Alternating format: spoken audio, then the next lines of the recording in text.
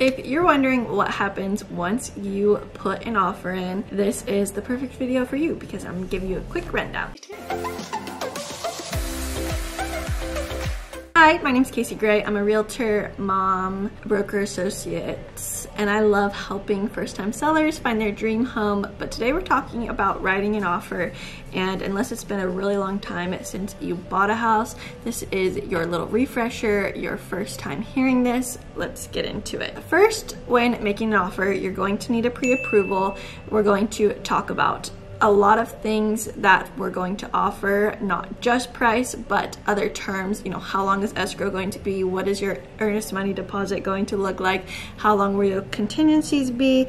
And um, a few other things. So there's no money that needs to be paid when you write an offer. The money will only need to be paid within three business days of you getting your offer accepted, and that's if you're putting down earnest money deposit. And that's basically like a security deposit on a rental. If you still have your contingencies in place, you'll get that money back. If not, it goes towards your down payment or towards your closing costs. So once your offer is accepted, like I said, you'll have three business days to get your earnest money deposit to escrow, and then we will get your inspection scheduled so that way we're on time and making sure we're reaching our contingency deadlines. We will get some insurance quotes to make sure that the house can be insured and that you can afford it, and we will start the mortgage loan process. So that's where they will take a deeper dive into the things that you provided during your pre-approval process and it gets you qualified to actually buy the house, you know,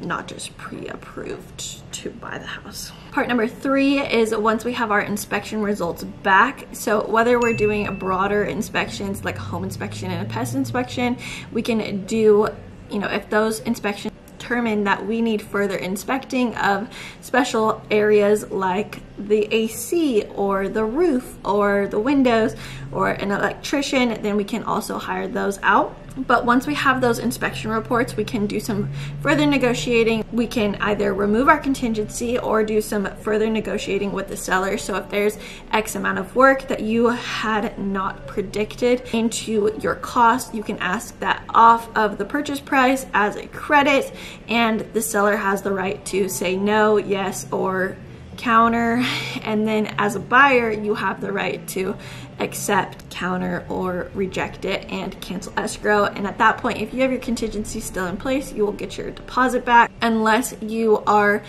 doing a VA loan none of those items are required to be repaired. But if you are doing a VA loan you will have to repair section 1 items and those will have to be done before the appraisal process can be re-inspected or re-approved. Somewhere along this point we'll also have an appraisal ordered, have that appraiser come out, give value to the home, if there's any health and safety issues, we will deal with it then.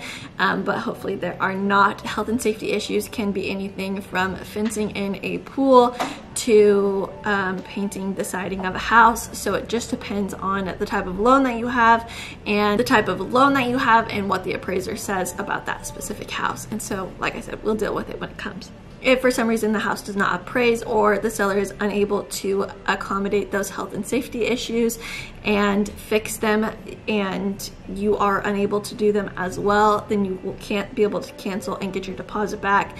Same thing with inspections. If you aren't able to come up with the money to cover those repairs after the house closes, not necessarily saying that you have to have the money to do those repairs, but typically it's a smart thing to you know, be prepared to fix things if they're broken. That way your house is in good condition when you're ready to sell it and not falling apart. But nonetheless, if you decide to back out after those inspections, you are going to get your earnest money deposit back. Next is about financing. So during your loan processing, if something happens, you lose your job, you open a new credit card and spend $200,000 on it, $5,000 on it, and your credit goes down and you're no longer able to obtain that loan and it alters your qualifications, then you will be able to get your deposit back if you have a loan contingency still in place.